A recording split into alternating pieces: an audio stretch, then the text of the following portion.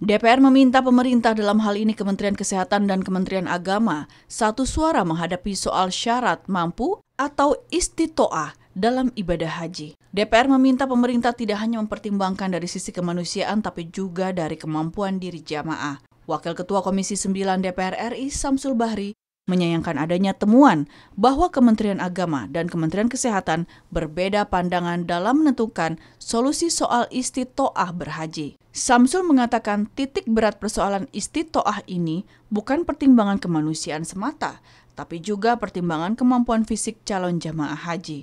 Kementerian Kesehatan berpandangan bahwa kalau istitah kesehatan itu tidak terpenuhi, ya, mestinya tidak boleh berangkat dengan uh, alasan medis.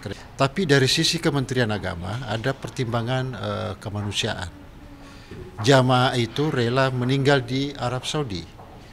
Oleh karena itu tidak perlu dihalangi Wakil Ketua Komisi 9 DPR RI Saleh Partaunan Daulay mengungkapkan, banyak masyarakat yang secara kesehatan tidak mampu melaksanakan haji tetap ingin berangkat, bahkan memaksa agar diizinkan berangkat. Menurut Saleh, jika mengizinkan orang yang tidak mampu berangkat haji secara medis, ditakutkan nanti akan menimbulkan masalah saat pelaksanaan haji. Kenapa itu penting?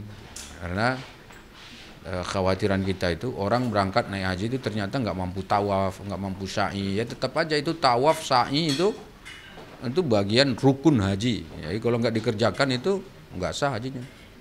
Amita dan Tegar, TVR Parlemen melaporkan.